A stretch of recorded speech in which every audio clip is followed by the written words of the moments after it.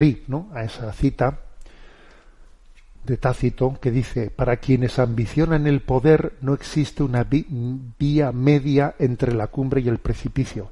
A ver, ¿por qué he querido decir esa frase? Pues porque la situación en la que ha quedado España de dificilísima gobernabilidad, es una situación, pues mm, podríamos decir que con muy pocos precedentes, ¿no? O sin precedentes, como para entender que, que es una, un momento histórico, un momento histórico en el que lo propio sería que los dos grandes partidos tuviesen una reflexión de decir, a ver, esto ha sido algo tan insólito, tan excepcional, que lo lógico es que hagamos una legislatura en la que lleguemos a un acuerdo de reparto de responsabilidades, yo no soy quien para decirlo, ¿eh?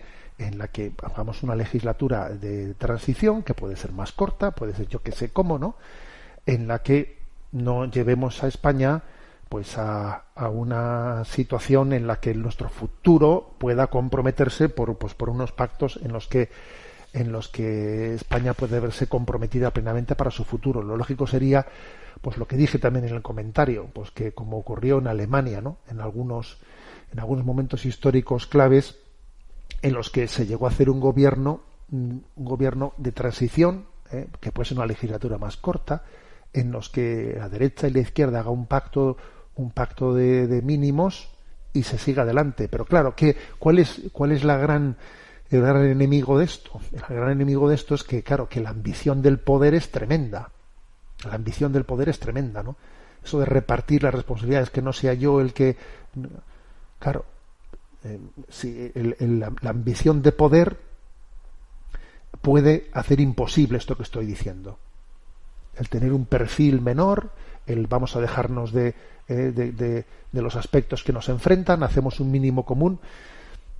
Por eso la, la cita de Tácito dice, ¿no? Para quienes ambicionan el poder, no existe una vía media entre la cumbre y el precipicio.